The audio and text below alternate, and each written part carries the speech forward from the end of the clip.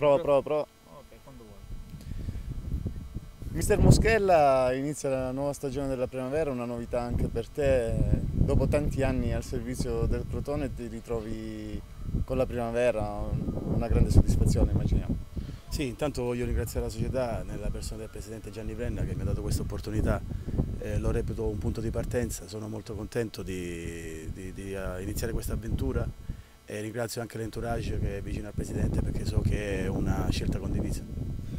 Mister, da oggi si inizia, qual è il programma di lavoro? Beh, è solito, adesso è un periodo di conoscenza con i ragazzi e quindi faremo qualcosina per eh, conoscerci perché il ritiro serve per gettare le basi sia dal punto di vista tecnico che dal punto di vista del, del conoscersi come persone. L'ultima per me, ehm, questo, la tua esperienza in questi anni al servizio anche della prima squadra come collaboratore tecnico, quanto può essere utile? Ma spero che lo sia, per me è stata una cosa fantastica. Io ogni volta che tornavo a casa dicevo a mia moglie che sto facendo uno stage all'Università di Cambridge perché avevo la fortuna di lavorare con professionisti di alto livello. L'unica cosa che credo che abbiano in comune queste persone sia stata la mentalità vincente che hanno cercato di trasferire al gruppo, la voglia di lottare sempre e la voglia di difendere sempre i colori del Crotone che sono per me fondamentali e cercherò di questa, questa mentalità di portarla anche ai ragazzi.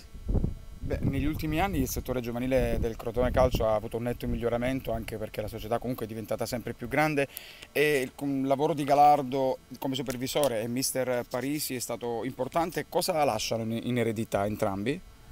Vabbè, Galardo c'è ancora, quindi c'è ancora, è fondamentale per noi. E Nello ha lavorato molto bene, io ho il piacere di conoscerlo personalmente, quindi so di, di, di trovare un gruppo che ha la cultura del lavoro, che questa è una, una delle migliori armi che possa avere un gruppo. L'ultima, quanto è importante curare il settore giovanile per una società così importante come quella del Crotone ormai?